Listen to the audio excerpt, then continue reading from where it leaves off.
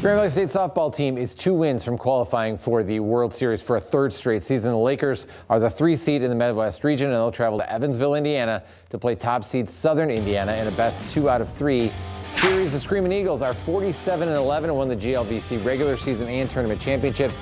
GVSU 43 and 6 and winners of 18 of their last 19 games, including last weekend, going 3 and 0 in the regional.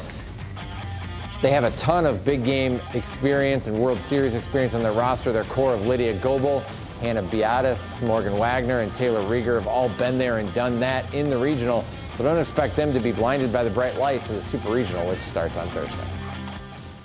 It's a, it's a big part of it. Uh, just being able to, you know, be in that stage before it takes a lot of pressure off of us. We can just go out there and kind of relax and just play our game. And confidence is a huge part of it too. If, if we're not confident, then we're going to go out there and, uh, you know, make some of those silly mental mistakes that we just can't be doing. So confidence is huge, and I think we got a lot of it. I think it, just taking the game uh, one play at a time, um, and knowing what we got to do moving forward, and just trying to get better every single play. The atmosphere is a little bit different. The, you know, the the just the officials and the way they carry themselves, and the atmosphere of the the venues and things like that, the protocol that we have to follow. Um, you know, it, it's just they're very hungry as well, and so that has fueled them to get back to Denver.